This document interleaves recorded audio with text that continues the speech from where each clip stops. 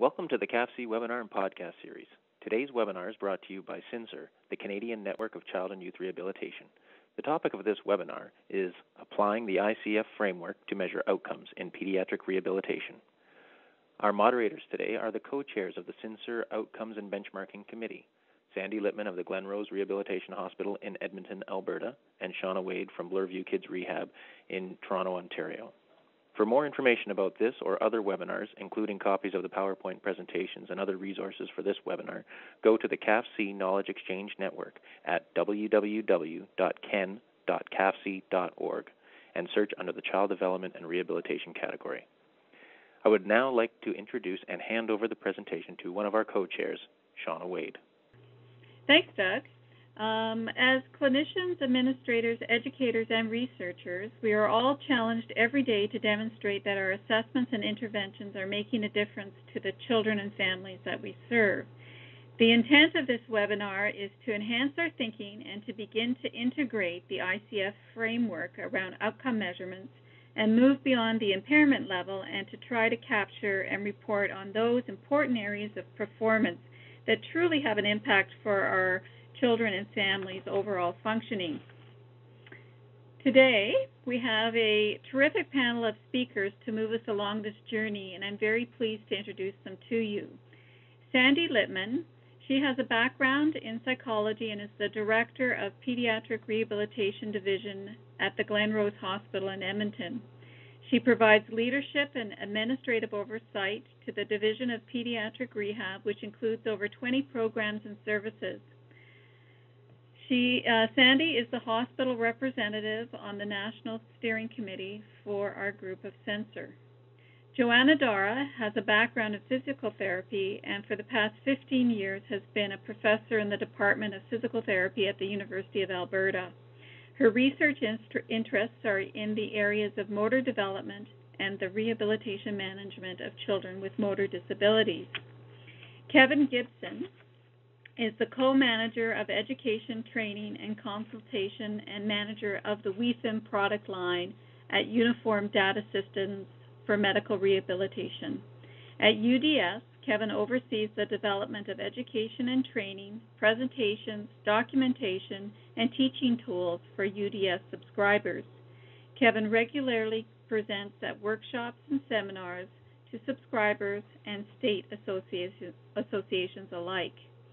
Joelle Robertson uh, is a physiotherapist by background and is the WeeFIM coordinator at UDS for medical rehabilitation.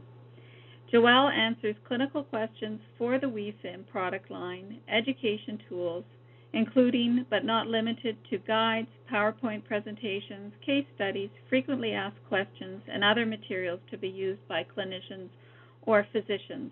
So we're in good hands today to talk about the WeeFIM.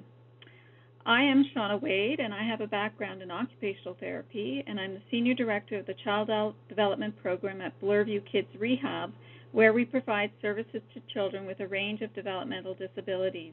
And I'm pleased to be able to co chair with Sandy Littman the Outcomes and Benchmarking Committee for CN-CYR. So today we have a full agenda, and uh, Sandy is going to give a brief introduction to you about CN-CYR and some of the goals and objectives of our Outcomes and Benchmarking Subcommittee. We'll have a brief 101 uh, description of the International Classification of Function, Disability, and Health, and then we'll begin to discuss the WeeFIM system and its new enhancements and crosswalk that to the ICF CY framework.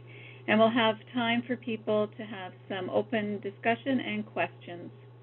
At this point, I will turn it over to my colleague, Sandy, to begin uh, the presentation.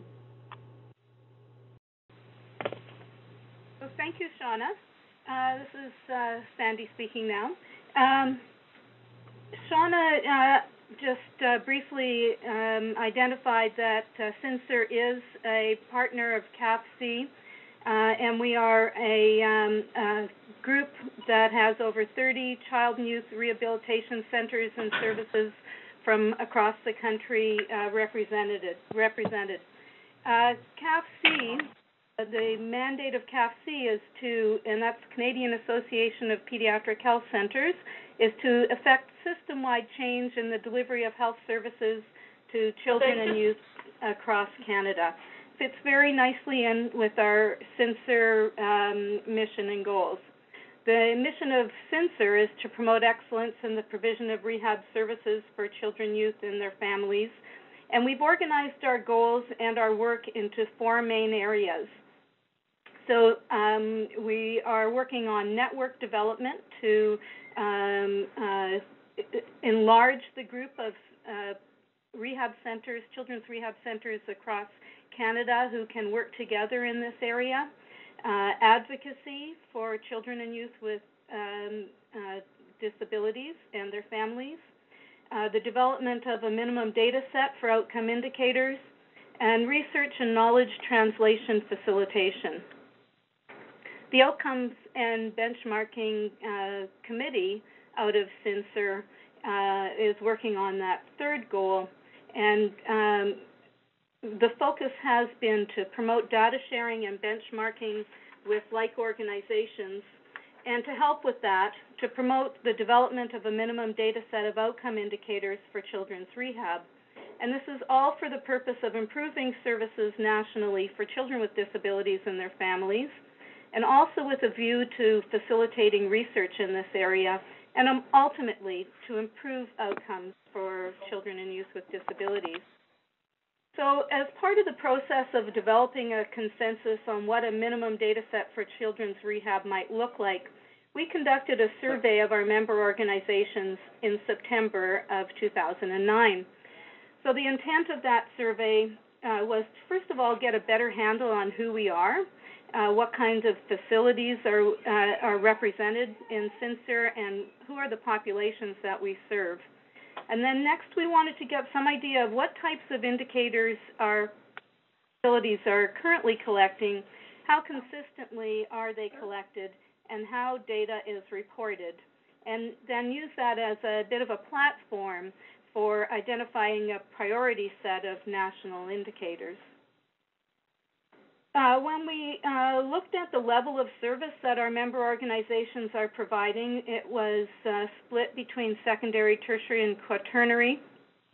Um, most of the member organizations uh, do secondary work.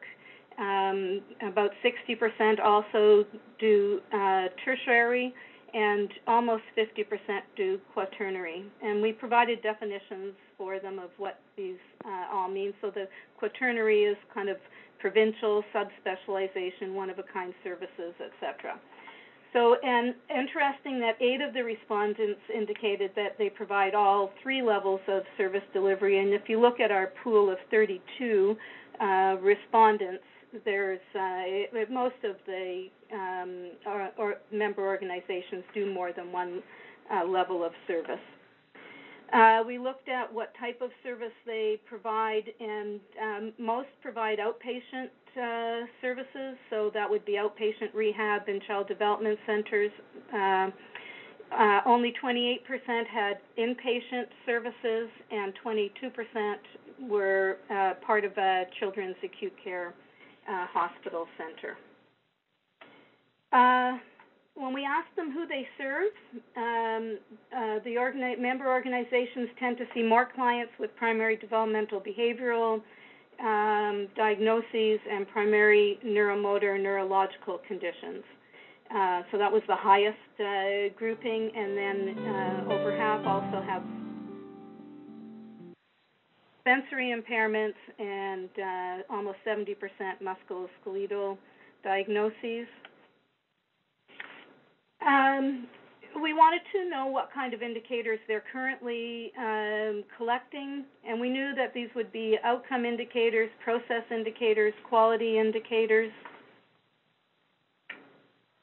most organizations uh, currently collect and report indicators related to the effectiveness of their programs or interventions, and this was really the area we were focused on. And philosophically, we are very interested in looking at outcomes within the ICF framework. So we went on to ask how many uh, of the organizations use ICF framework as a guide to select outcome measures. Uh, half of the organizations report that they do, and then we try to um, uh, be a little more specific. 86% of the organizations report that their clinicians uh, use impairment measures, 86% use activity measures, and 58% use participation measures.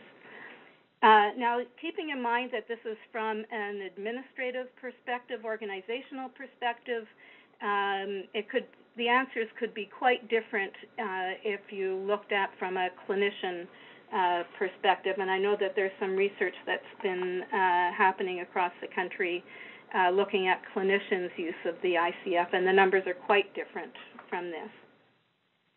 Uh, when we ask them to tell, tell, tell us um, commonly used measures in their organization, uh, gross motor function measures, Canadian Occupation Performance Measure, goal, goal attainment scaling, WeeFIM, and the PEDI were the um, uh, top uh, five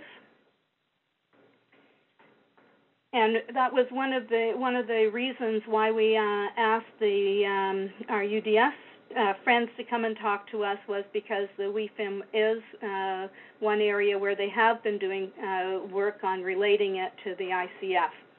So following up on the survey, we had a, um, a, webinar to further discuss outcome measures, and then our National Advisory Committee met in October uh, in Halifax to try to um, uh, develop further that consensus on a minimum data set. Um,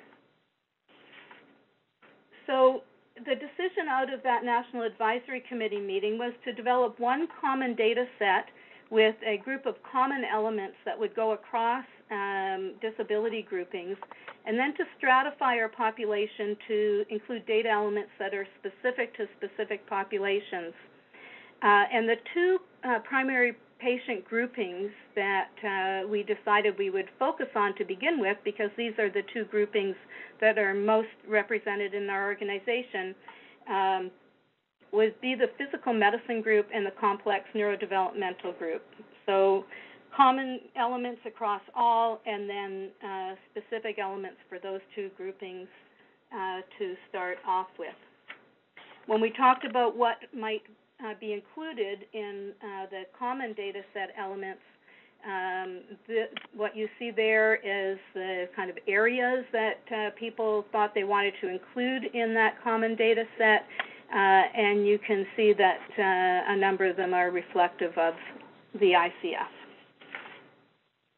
So future directions for uh, CN-CYR outcome and benchmarking, uh, we need to do further work on common and population-specific outcome measures that reflect ICF dimensions.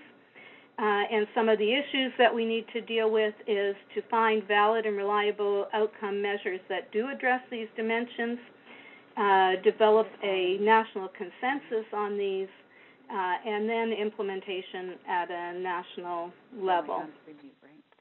So I'd like to now uh, turn this over to Johanna Darrah uh, to give us a little primer on the ICF CY. Okay. Good morning, everybody. My part of the presentation is to give a brief review of the International Classification of Functioning, Disability, and Health and suggest some ways that the ICF can be used in pediatric rehabilitation.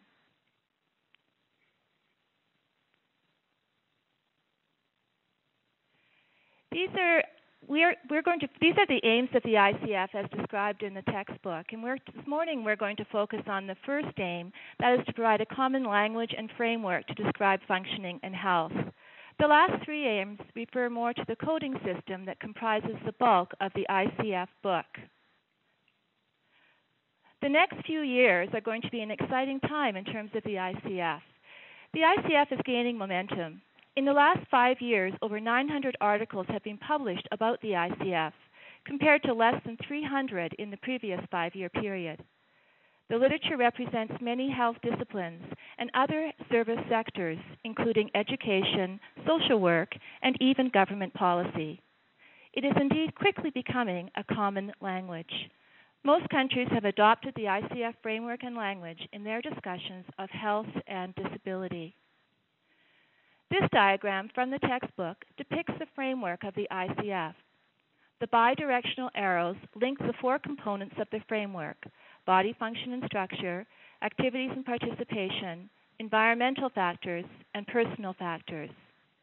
Equal emphasis is given in the model to a person's functional status and the contextual factors. This interactive nature reflects the new paradigm for disability, viewed as the product of the interaction between a person's abilities and the content of the environment.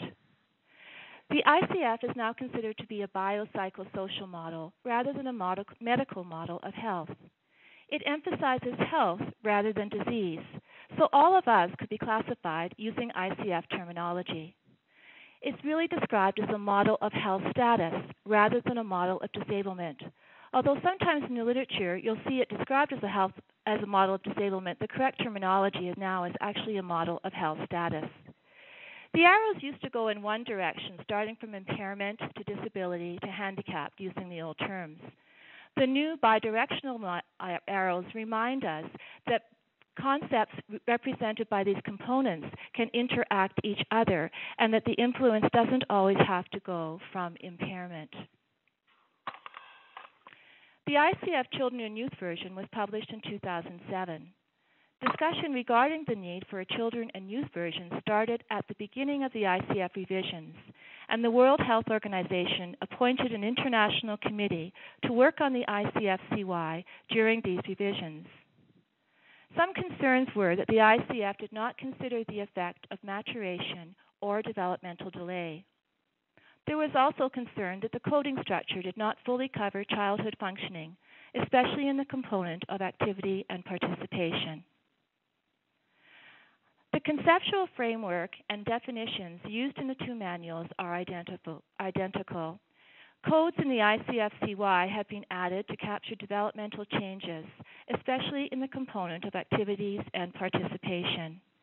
For example, the maturation of play can now be coded as solitary play, onlooker play, parallel play, and shared cooperative play, so it shows how play matures and develops over time. Environments specific to children have also been added, such as special education and training service. Interestingly, the committee also took the opportunity to add some extra adult codes, and a footnote in the ICF-CY indicates that the two versions will be combined in a future revision. For our purposes today, though, what's important to know is that the philosophical framework of the two versions are identical. So, what I'm going to do now is just very quickly review the terms and definitions of the ICF language. And I'm sure that most of you know this already. If you are committed to using the ICF in a clinical context, I would really urge you to buy the textbook. Um, I'm quite familiar with the terminology, and I refer to the textbook more times than uh, very often when I'm trying to decide where to classify things. So, body structures are defined as anatomical parts of the body, such as organs, limbs, and, and, their components. If there's a problem in body function or structure, it's referred to or defined as an impairment. Body functions represent the physiological functions of the body system. And if there are problems at the component of body function, they're described again as an impairment. It's important to note that body functions and structures don't just classify physical body functions and structures. You can see that mental functions and also emotional uh, states or range can be classified under body function and structure. Activity defines execution of a task or an action by an individual. So these are often very functional ADL type of activities. If there's a difficulty, it's described as an activity limitation. Participate, participation classifies factors that are, are kind of um, defined involvement in a life situation. If there's problems, they're defined or described as a participation restriction. So these are really life roles. And for children, they're things like maintaining friendships, their relationships with their families, going to school, participating in play, and participating in leisure activities. Contextual factors can be external and described, which are described as environmental, or personal, which are internal influences. Environmental factors can, can be physical, social, or attitudinal. If there's if it's a factor that hinders a person, it's described as a barrier. If it's a factor that supports a person, it's described as a facilitator. And it's interesting to note that the ICF cautions against trying to make group barriers or facilitators. You should only look at these in the perspective of an individual person. The example that they give is that uh, sidewalk ramps or sidewalk curbs for a person in a wheelchair are actually a facilitator. They allow them to get around their communicator their community better. But for a person with a visual impairment, a sidewalk ramp might actually be a barrier because they can't tell when the sidewalk ends and the road starts. The ICF also reminds us that healthcare providers can be social and attitudinal barriers or facilitators. Personal factors are the least well developed part of the ICF, and there are no codes to classify personal factors. They describe them as internal influences on functioning and disability, and they give examples such as gender, race, age, education, and psychological assets. I would just caution you that if you're going to use the ICF, that you don't automatically lump everything about the person under personal factors, because many personal factors can actually be coded or classified under body function and structure things like um, emotional range of state, motivation, temperament, some cognitive abilities. Actually, if you look in the index of the book, can be coded under pers- under uh, body function and structure. So just don't be tempted to put everything about the person under personal factors. I find that students want to do that all the time. So that's a brief overview of the terms. And returning back to the framework, it reminds us of the many interactions that can be hypothesized and evaluated using this framework of the ICF. Remember that there's not one starting point. You don't always have to start at body functions and structures, and that contextual factors get equal billing with a person's health functioning. The World Health Organization actually cautions against assuming a relationship between factors represented by the different components. It's very clear in stating that you need to evaluate that relationship. You also cannot assume the direction of the relationship. So let me give you an example. Muscle strengthening is viewed as a good intervention strategy for children with cerebral palsy. We're interested in it because we think that if by changing muscle strength, which is classified as a body function, we will improve a child's functional abilities or community independence, both which would be classified as a component of activity and participation.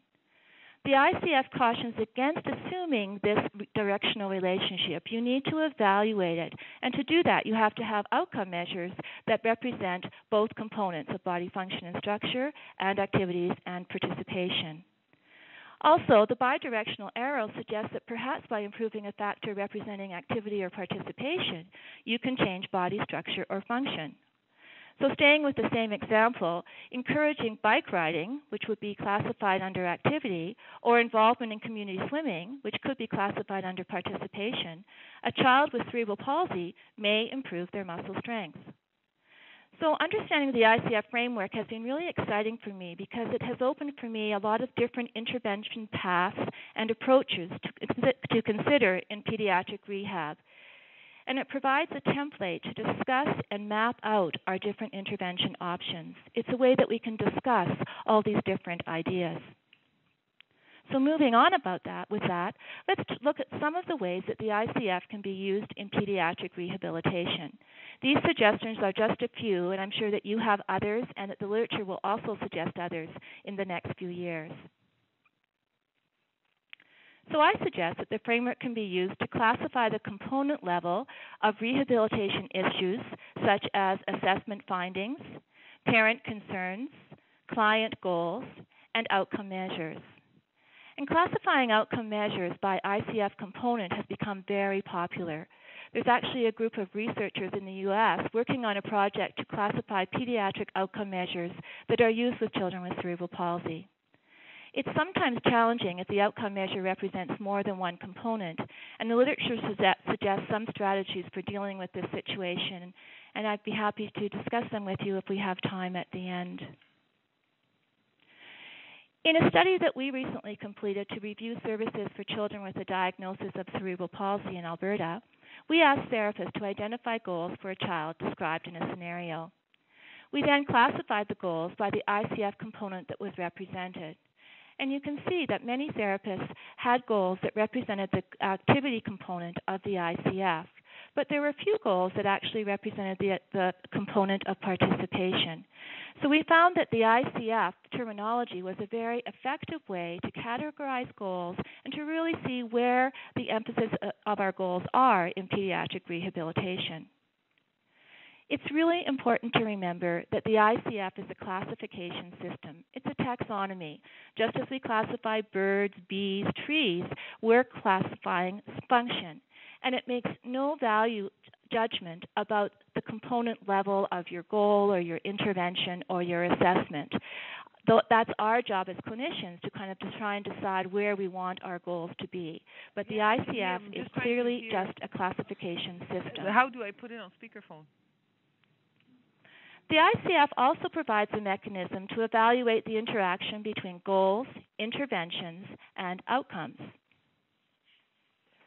This slide shows a matrix that we designed for the same study that I talked about with goals to evaluate therapist goals and the interventions that they describe to meet the goals.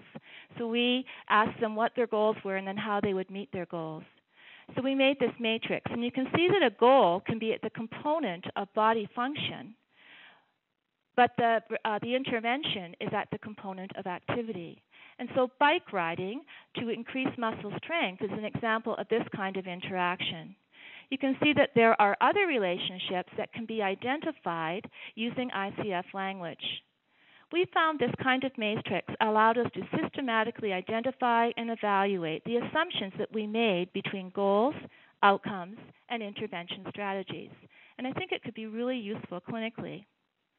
To evaluate these assumed relationships, we need to be able to articulate these relationships and then make sure that we use outcome measures that capture the components represented in the assumed interactions. Again, the ICF framework provides a template to identify and to discuss these relationships. I suggest also that the ICF can also be used as a framework to build a model of practice.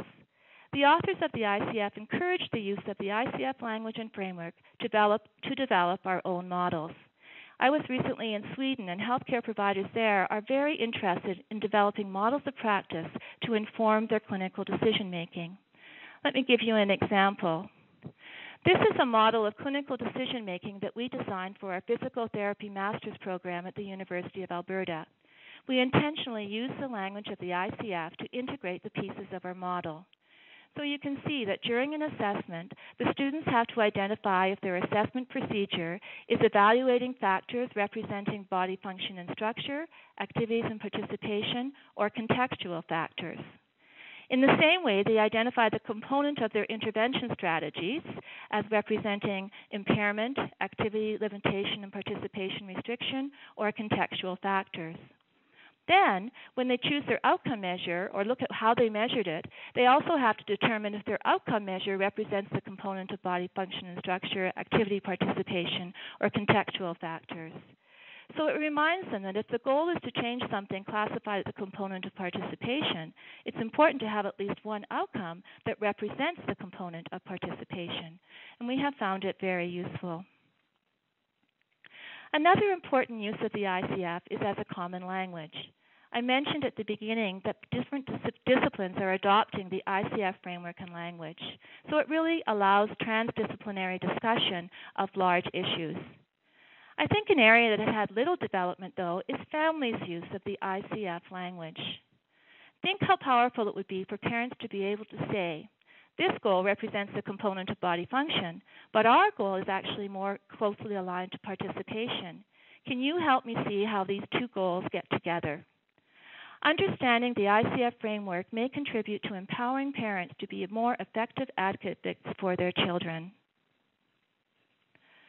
The ICF, I believe, also as a research can be used to assist in the dialogue between researchers and clinicians to identify research questions that have clinical relevance, which are really the most important research questions.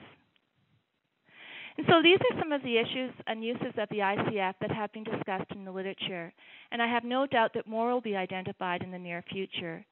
It's really an exciting time to be in pediatric rehabilitation. Knowledge of the ICF by clinicians is no longer an academic exercise. It is fast becoming an integral part of clinical culture in pediatric rehabilitation. Thank you. Okay, thanks, Sandy. Um, and we'll now move on to uh, Kevin and Joelle to discuss the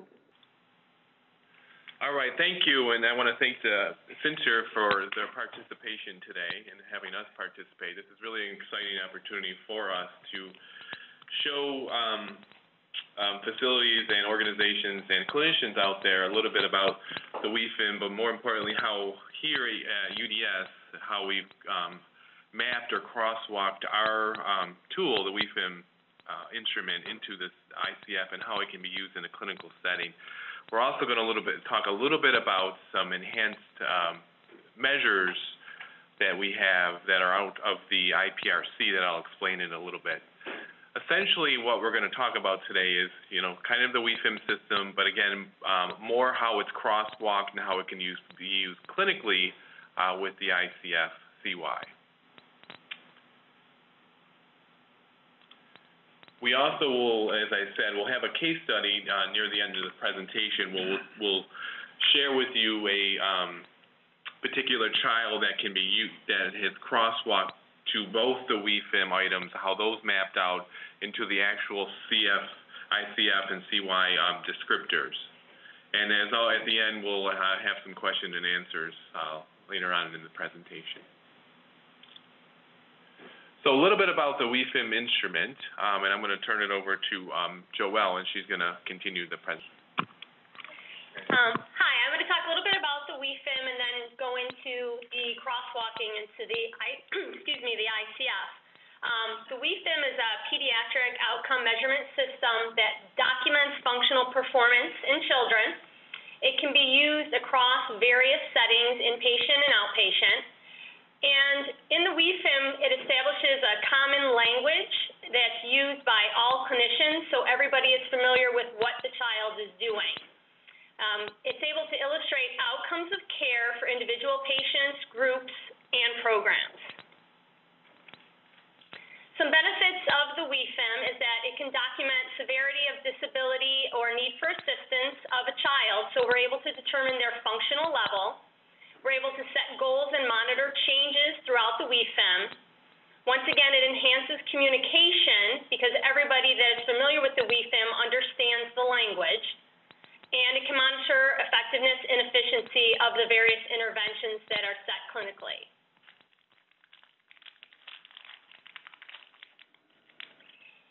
Managerial-wise, we can provide real-time reports. As soon as data is entered in, you can pull up reports to look at for that child or for various groups. You could quantify data for marketing analysis and budgets. You're able to monitor resources.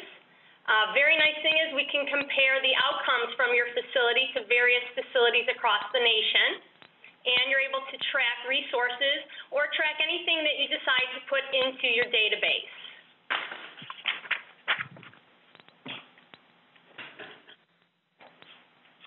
Um, the conceptual basis for the FIM and thus the WeeFIM is that it's based on the theory of the WHO model, the WHO disablement model.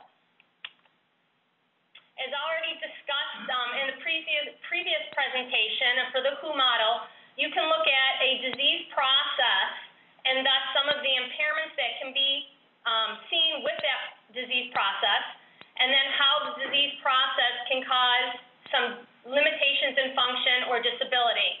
It's within this area that we measure the WeeFIM, um, the self-care, the mobility, and the communication measures, and then once again, what, how it affects the child in their participation in the community.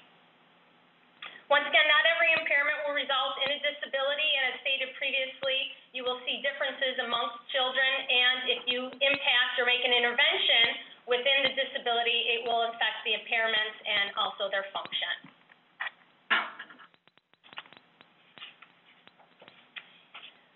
we, when we talk about the WeeFIM, we talk about the burden of care. The WeeFIM measures a child's ability to function, and when they cannot perform an activity of daily living on their own, they need assistance, and we consider this assistance a burden on somebody else. And so we look at what is necessary for the child to complete a specific task.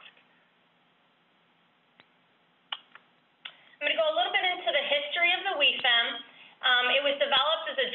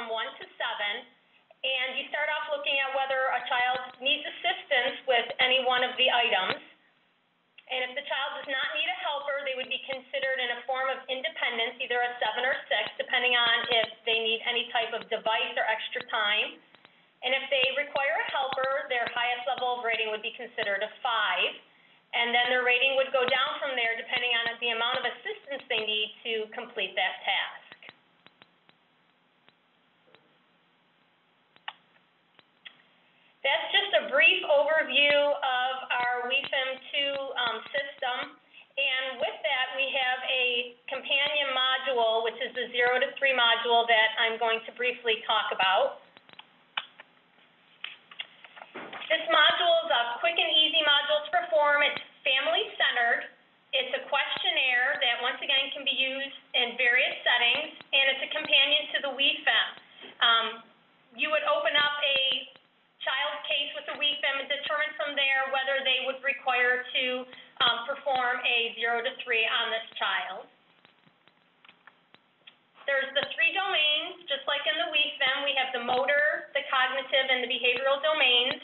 We have 36 items in the 0 to 3 module, and we consider these skills foundational skills to the skills of the WeeFIM. We have a three-level rating scale that's used.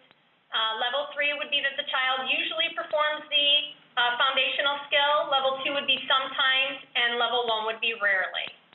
Once again, this could be done by questionnaire the parents could fill out, or a clinician would be able to complete um, the questionnaire.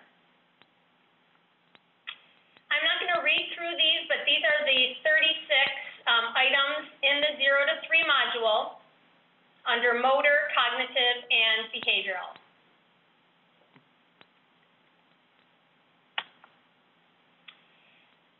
The next thing that I'm going to present is talking about crosswalking the ICF to um, CY to the WeeFIM.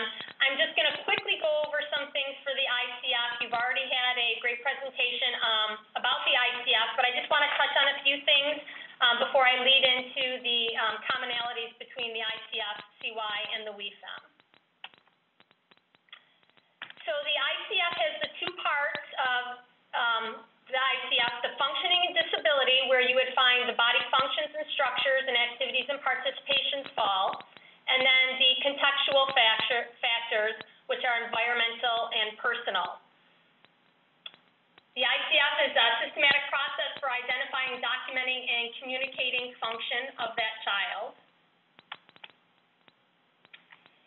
The ICF uses an alphanumeric coding,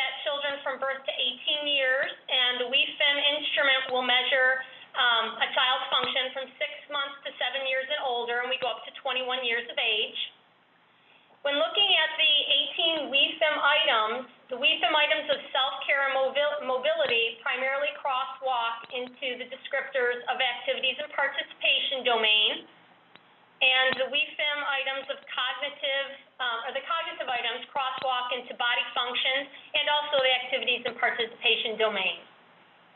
As stated on the previous slide, when you look at the ICF qualifiers, if there's an intervention and a change in that descriptor, you would also see a change in the qualifier as well as a change in the WeeFIM rating.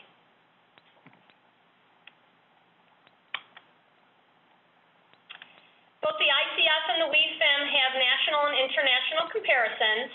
They both look at a picture of a child's function at a specific point in time and they both use common language that can be used across disciplines.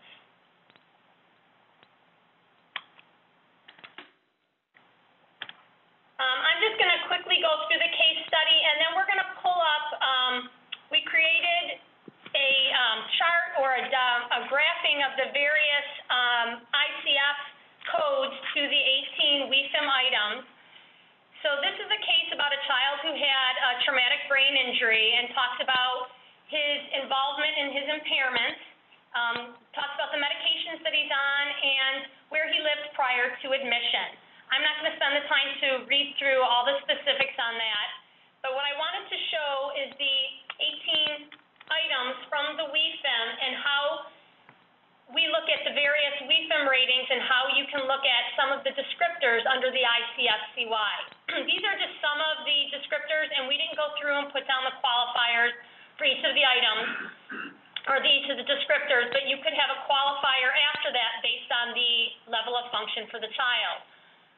So our first uh, WeeFIM item would be eating, and we would look at what the child is able to do in eating. I'm not going to read through each of the 18 items. It would take, um, I think, too much up time up of the presentation, but I'm going to read through eating and then pull up the chart that we have.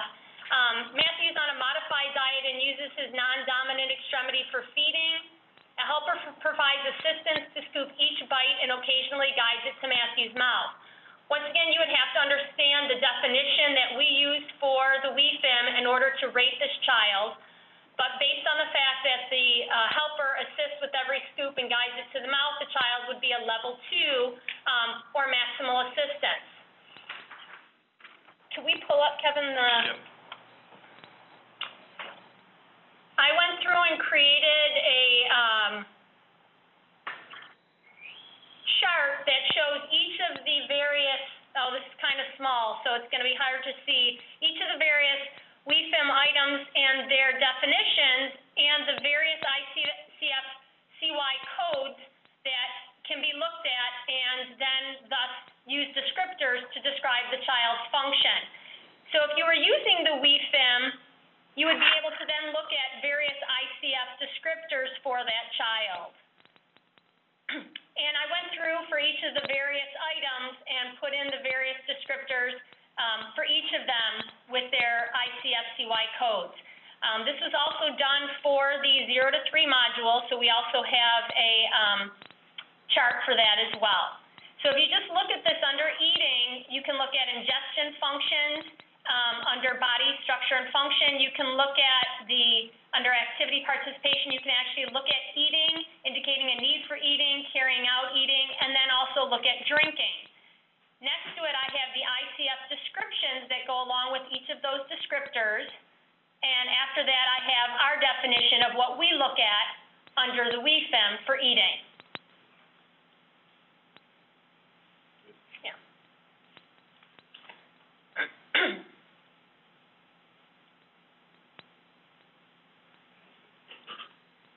Sorry about that. Um, we're on slide, yeah.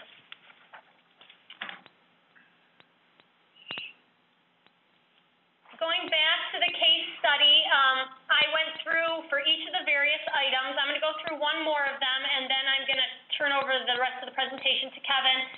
Same thing for the, uh, and the next self-care item, which would be grooming. We went through and look at the child and their assistance for obtaining their grooming items and look at the parts of grooming that the child's actually able to do on their own. And we would give this child, once again, a rating of a level two for maximal assistance. And the ICF items or descriptors that were looked at are the items that go along with the child's ability to wash and dry his hands, wash and dry his face, brush his teeth, and brush his hair. And those are the um, activities that are looked at under the ICF. So you can see that there is a way to look at, once you are doing the WeeFIM, specific descriptors for each of the various WeeFIM items. Uh, like I said, I went through each of the 18 items for time reasons, to give people a chance to answer questions for all the presenters and to give Kevin a chance to present. Um, I'm not going to read through the various 18 items. Um, we did send our slides to Doug so that they are available for you to um, request if you're interested in looking at our slides further.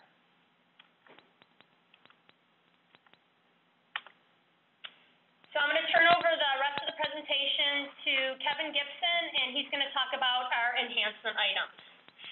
Thank you. Um, for those of you, some of you I think out there are aware of um, our collaboration with a uh, international pediatric rehab collaboration group. Uh, just a quick history, um, probably about two to three years ago, um, UDS and a small uh, pediatric uh, group of facilities in the Pennsylvania area got together and we started formulating some um, activities and tasks to better look at pediatric rehab, um, primarily with this small group, um, looking at outcomes between the facilities and them sharing data with UDS and us discussing it. Um, but when we developed this small group, it started to blossom, and we got more interest um, nationally. We started adding more people, and before we know it, it became an international group where now we have calls and webinars and things with um, over 100 pediatric facilities. Out of that group, we developed certain uh, parameters or certain um, ideas and, and things to better uh, look at pediatric measures and ways that we can enhance the current tool that most of them use, which is the WeeFIM. Um, so we developed um, um, some bullet points um, and some things that we're still working on to the future. And one of those, uh, the very important tasks um, was developing an enhancement to the WeeFIM tool or different measures to look at. Although we, we believe that WeeFIM is a great tool, we know it's not perfect, so we uh, always look to the, to the field of pediatric rehab for ways that we can enhance our current tool. And a lot of times we would get um, feedback on our cognitive items. For those of you that know the WeeFIM, and Joelle talked about a little bit, there's three cognitive items and two communication items. And you know, some of the kids and things, it, it, it's not sensitive enough for those types of areas. So a lot of our enhancements that I'll show you in a minute were related to enhancing more measures or more sensitive measures to the cognitive areas uh, of the current WeeFIM. So out of this IPRC, one of the missions was to develop um, some enhanced measures, and we are to a point now where, um, where we have a draft of the enhanced measures and I'll show those to you. Um, and we are really, at this point, looking for feedback on uh, facilities that like the enhanced measures. We've actually had some internal discussion at UDS of, of looking at maybe the headings or changing a little. So right now, they're still in draft format. Um, so we have initially with the small uh, focus group that we developed out of the IPRC, we had about 15 measures but we condensed those, and now we're down to about nine, and we're pretty set on these nine items. And again, these were developed out of the IPRC and involved in an international uh, focus group. Um, here are uh, the nine items, um, and the bold areas are obviously the titles. Uh, emotional regulation, and again, these are these are um, items or measures that the WeeFIM currently does not necessarily look at. Emotional regulation is really the child's ability to regulate their emotions and maintain behavioral control. I'm going to pull up the actual um, items in a second so you can see how they're how they're how they're rated. But essentially, we tried to make them still on the seven-point scale and still use some of the language out of the WeeFIM to keep them consistent. Um, inhibition of impulsive responses, which is the child's ability to control his behavior and exhibit self-restraint. And some of these, as you probably have noticed, too, are um, geared towards uh, traumatic brain injury. And a lot of these items, although not exactly, um, were developed with an inpatient rehab facilities mindset, but they we feel they can be used. You know, a lot of the kids, you know, even in the U.S. and uh, in the Canadian area too, is the kids are moving so fast from the inpatient side to the outpatient side or some other service area, we also feel that a lot of these items, um, as well as the WeeFIM, can be used in the outpatient arena as well. Uh, safety and dangerous behaviors, the child's ability to behave in a manner that is safe and does not cause danger uh, or harm to himself or others. Uh, self-monitoring, which is a child's awareness of deficits and the extent to which a child utilizes compensatory strategies response time. Um, this was an interesting one to develop, and we had a lot of feedback on this one. And it really is the amount of time and cueing required for a child to respond to greetings, requests, and simple questions. Um, I'm going to go on to the next slide. Another area, and, and we had a um, neuropsychologist in the small focus group, and he was really focused on this next item, which is new learning. You know, you can teach a child, you know, tasks and activities, but if he doesn't learn the activity, uh, you know, what what benefit does it have for him? And the WeeFIM right now does not look at new learning per se. So this was another thing that we felt was a very good measure and something we, we would would love to track or rate with children and and try to measure this. So new learning looks at the child's demonstration of recall or new material after a one-hour period of time. This item rates the child's ability to recall a sequence of four elements from a story, task, or activity. So really, we looked at um, the child be given a new activity. You know, a lot of kids know certain board games or certain activities, and even if they have a, a TBI or something, they may be able to recall that activity just because it's more in their long-term memory. So when we develop this measure, we're thinking a new activity, something the child has never seen or heard before, and you give them this activity, and then you go back to the activity an hour later and see if they actually have learned that step or learned that activity. Um, next uh, measure is initiation, which is a child's ability to begin and continue to completion of simple everyday tasks such as eating a meal, dressing, taking turns during a game, of brushing teeth. uh, attention and focusing, which is a child's ability to independently focus on on and complete an activity in a group setting or a busy gym with distractions. Again, this was another one that was an interesting one where, you know, intention and focusing, a child may be able to be in a small um, uh, setting, you know, one-on-one, be able to focus and, intention, and, and attend to an activity. But once you get them in a therapy gym or once you get them in a, in a classroom setting, they may not be able to attend or focus, and that may be really impacting their education and everything else that goes along with it. Um, the next one was diet level, which is a child's ability to take in nutrition by mouth. The rating for this item reflects the burden of care for caregivers. Um, and this one is a little bit similar to the eating item for those of you familiar with the, the WeeFIM items but it takes into account if a child is getting other kinds of nutritional support, like a G tube or like a PEG tube, but they also are taking in uh, food by mouth. The current WeeFIM item would be rated a one no matter what because they're getting external support and somebody is giving an external support. Well, this item looks at, you know, looking at the child's ability to take in nutrition by mouth as well as those other um, forms of nutrition. Before we go to the Q&A session, I just wanted to show you the um, actual draft of the items.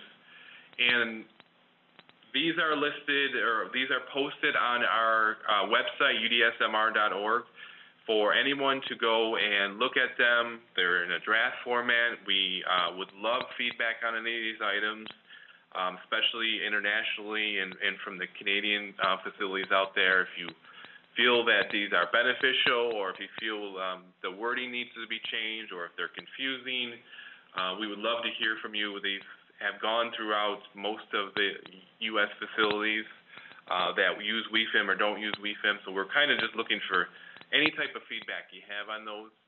Um, our plan eventually, probably in a month or two, once we get some approval from an uh, IRB, that we're going to field test these items. And again, if you are interested in doing that, please let Joelle or myself know, and I'll have our contact and pilot the items. We would love to have, uh, you know, all facilities participate. Again, you don't have to use the, the WeeFIM particularly.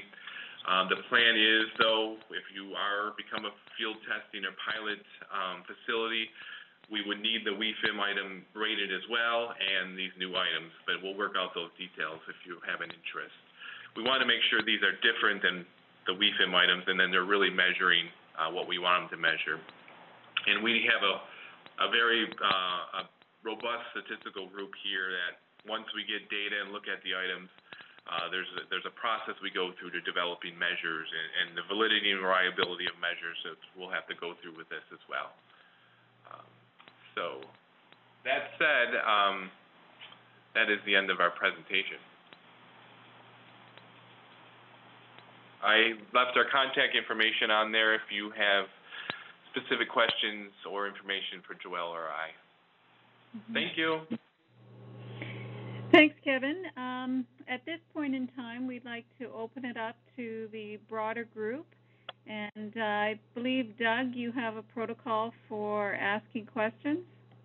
Yeah, thanks, Shauna. Uh, because we have so many people, we won't be able to open uh, phone lines for, for sort of verbal back and forth questions. But we do have an, a few questions that have been submitted to the question box. And, and while I'm reading a couple of these, if anyone else has any questions, um, feel free to type them into the question box, and we'll try to get to as many questions as we can. We may not get to all of them, but uh, so I'll just read off a couple questions. I think the first one came in during uh, Kevin and Joelle's presentation. Um, and they uh, the question was uh, a comment as much as a question, and it says, "I'm concerned about equating the term handicap with participation. Uh, they are not just different dimensions of the same thing; they are different things." But she also qualifies and says she understands the history of the WeeFIM in a in a pre-ICF context. That's really not really a question, but more of a comment. But do you have any uh, any any comment back to that, uh, Kevin or Joelle? Yeah, Doug, uh, that's a great question. I, we, you know, we 100% agree with you. Uh, the WHO model back in 1980 used the term handicap, um, and that's where you know the WeeFIM was originally developed based upon that model. And in 2001, when the WHO uh, changed the language, they went to participation. But we're, you know, we we 100% agree. We would use the word activity and participation, and we would not use those those um, definitions or those terms that the WHO used to use. So I agree 100%. All right, thanks. They were, I just got a, also got a question uh, asking if you could repeat their website. And, and for anyone who has asked, we will be uh, posting these uh, presentations. Um, we we may send them by email, but they'll definitely be posted on the CAPHC Knowledge Exchange Network, which you can find at ken.caphc.org. And if you just search for ICF or webinar, etc., it's in the Child Development and Rehabilitation section. You'll definitely be able to find it there. But we will very likely send uh, a message by uh, by email to all of the participants after this, letting you know the links or, or even attaching the presentations. But Kevin, if you could just repeat your website one more time. Sure, it's udsmr.org. So like Thanks. uniform data system medical of medical rehabilitation. You're welcome. Thanks, Kevin. Uh, this next question is uh, probably for Shan- uh, Sandy uh, or Shauna. Um, and they asked, is the WeeFIM presentation here just to give an example of how to use the ICF and outcome measurement, or is CN-CYR looking at using the WeeFIM or items as a national uh, health indicator? Andy. That um, that is a good question. The uh, intention here was to demonstrate uh, really an example of an outcome measure and uh, and how it might be fit into an ICF framework. Um, we really are not at a point where we've come to any decisions about which outcome measures are going to be included in the um, national minimum data set. and there's still a lot of work to be done to come to that point. Uh, it, because the WeeFIM people had done the crosswalk of their uh, instrument uh, to the ICF, and because there was a significant number of uh, member organizations who currently use the uh, WeeFIM, uh, we thought that this would be a good illustration, a good demonstration. Shauna, any comment? Uh, no, I think you captured it well, Sandy. Um, my own my comment would be, and it might be a question, a comment and question for uh, Johanna, is that look, trying to find outcome measurements that fit within the categories of impairment, activity, and participation are challenging, um, particularly on the um, dimensions where families have, as you so eloquently indicated, um, really look at the true value of our uh, interventions, and that's within the participation realm. Um, and I think the it's interesting to look at the difference in the data, whereas administrators at first blush will say that, oh well, yes, our um, facilities are using participation measures, but when you actually dig down into the data where therapists are setting goals, uh, there are very few participation goals that are actually set. And then how do you go about measuring those goals? So I, there is a lot of work to be done uh, within this field, and uh, you may have some further comments on that, Johanna. You had talked about um, uh, a cerebral palsy group or a consortium looking at outcome measures for cerebral palsy and in particular participation. Yes, it's Johanna. Shauna, you're absolutely right. One of the challenges is that when we actually look at the outcome measures that we use, we have the majority of them actually are kind of identifying or evaluating body function and structure rather than activities right. and participation. I think it will change drastically in the next five to ten years. My guess is that there will be a plethora of new measures that measure activity and participation. It's hard to tell what comes first if we're measuring um, impairment because there's few measures or because that's where we were in our clinical clinical practice, and we're now much more aware of the importance of, of looking at activity and participation. Currently, I think if therapists are very interested in capturing activity and participation, they will often use a broad based measure like uh, the Canadian Occupational Performance Measure or goal attainment scaling so they can actually try and capture family goals. And then our job would be to kind of classify them and to see at what component of the ICF family goals are So I think it will happen concurrently. Our interest in activity and participation will increase, and the measures in that area will also increase. Of course, CanChild at McMaster has been very influential in uh, test development in Canada, and they've developed the CAPE, which is a measure of participation. And I know that Mary Law with Wendy Coster in the States is currently developing a new measure of participation for children. So I think it, it, it will happen. Mm-hmm. Mm-hmm. Thanks, uh, thanks, Johanna. Um, here's a question um, for Johanna, I believe. Uh, they're asking Johanna, how would clinicians actually use the codes as they set goals and talk with families? Yeah, it's an interesting question. Um, my sense right now is in, in pediatric rehabilitation, where we are in our use of the ICF is in using the framework, the terminology. I know of very few centers that are actually using the coding system of the ICF, and I have a, a lot of colleagues in different countries, and many people are, are not using the coding system yet. The coding system itself is a bit laborious, you know, and, and I think it's like anything, you just have to get used to it. But um, I'm not sure if we'll ever get to the point. We may, especially if um, it was a top-down administrative decision that we would use the coding system of the ICF. Then I think that we would all get used to using it. But it's not um, user friendly right now. It's, it's there's a lot of levels, and, and as you saw in the presentation, a lot of numbers. What some people are doing in research is picking one item of the ICF and using that as their outcome measure. So, a mobility one item, for example. And I have a few concerns about that because I'm not sure it's specific enough to really identify the complete change that you may see in a child. So, I think there's a lot of work to be done on how to actually use the ICF codes as an outcome measure rather than as a data management system. I'm I'm not sure that the ICF actually envisioned, or the World Health Organization actually envisioned that one item would be used as an outcome measure. And when I was in Sweden, I saw a couple of groups that were doing that. So I think again we're on the frontier of how to use the codes, but uh, don't feel that you're behind if you're not coding on the ICF because I would suggest that most um, rehab centers are not yet doing that. We do code on the ICD 10, which is the companion measure with the ICF, so we may get to be coding the ICF, but I don't think it's happening, happening currently. I, I just have one comment about that. Um, uh, when we were at a, um, a meeting with uh, um, Canadian Institute of Health Information, the point about um, uh, the ICF uh, in pedi- or in rehab, and the point was made a number of times that the um, ICF is not uh, designed to be used as a, a measure. Uh, it's designed to be used as a classification system, and I think that that you know people kind of um, make that association, and um, and the point was made that that needs those need to be kept quite separate. Um, the, uh, also, there there was a presentation from Manitoba, I believe. I'm not sure whether anyone from Manitoba is on this call. Um, that they've been doing a lot of work between the health system and the education system uh, to come to some agreement about uh, common language uh, using the ICF.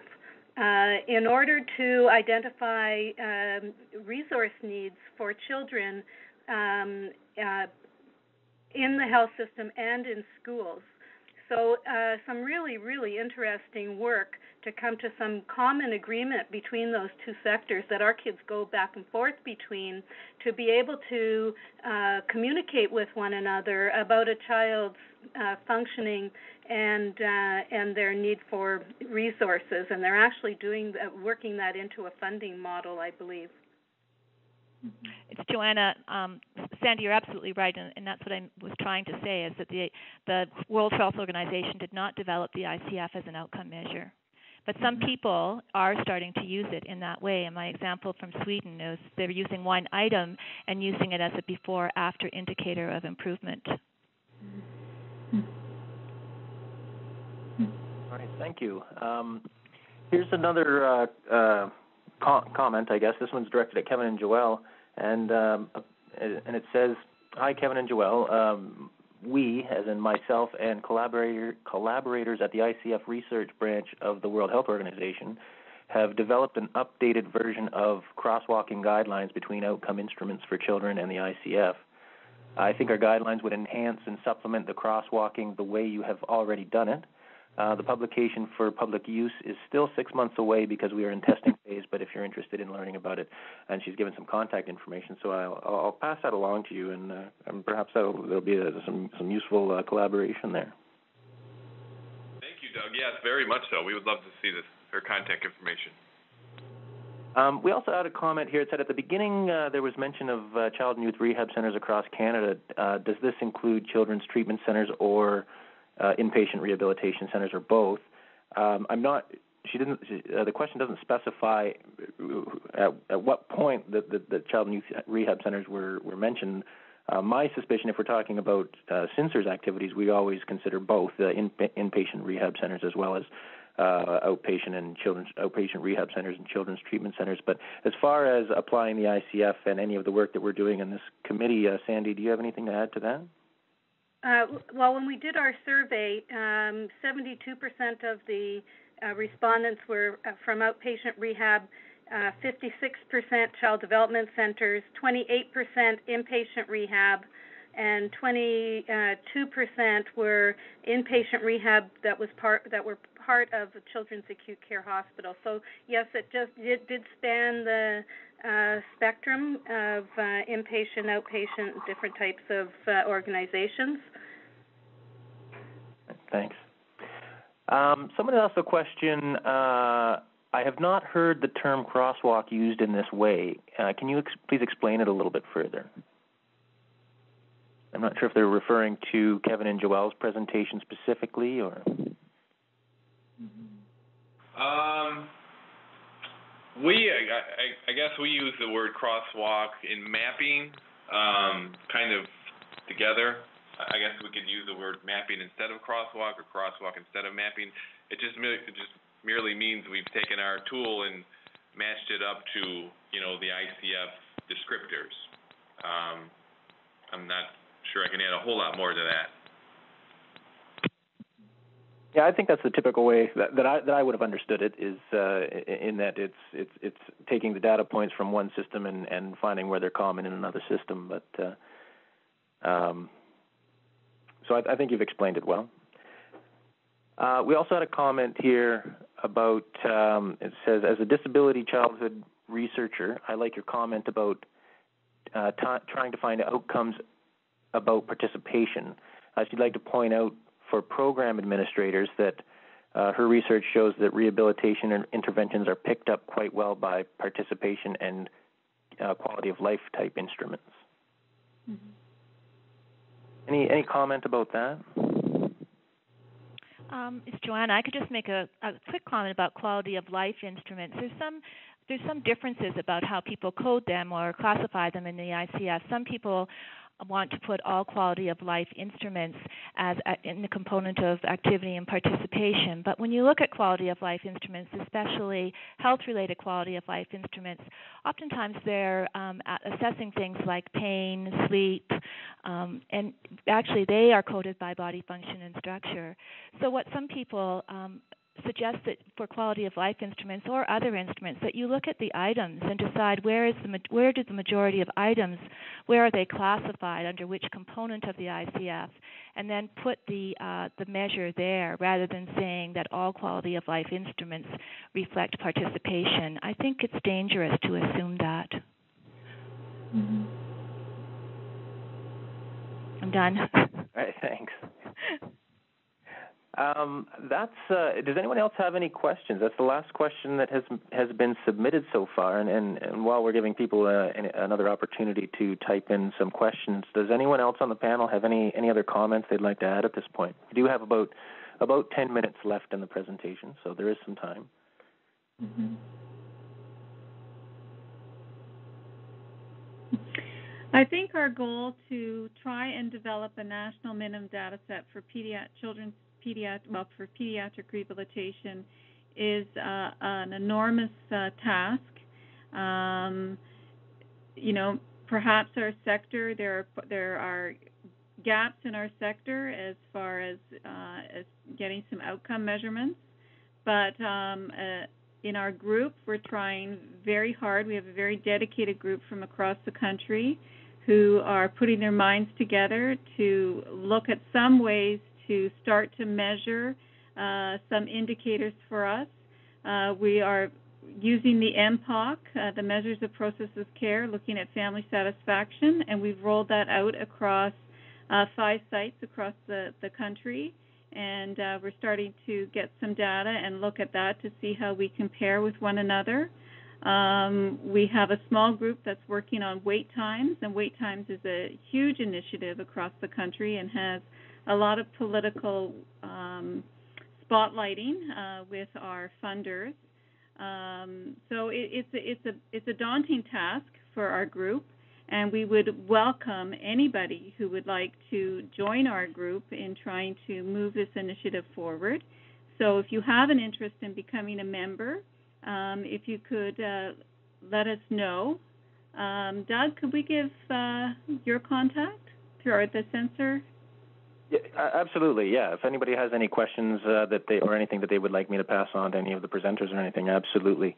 Um, you can contact uh, me at any time by email at dmaynard at caphc.org. That's D M A Y N A R D at C A P H C dot org. Um, or, the, of course, the phone number is 613 738 4164. And all that information will be available on our web- website as well. Mm-hmm. Mm-hmm. So we definitely do see this as a journey. We haven't landed on um, uh, specific indicators as yet, and there's still a lot of work to be done. Um, so we're very pleased to be able to host today, get some of your questions, um, your feedback on some of the work that we've done to date, and to hear what other people are doing across the country. So I, if there are no questions that have come forward, I do have any more questions come forward, Doug? Uh, someone has asked uh, if we could provide information for the group in Sweden that is using the ICF as an outcome measure.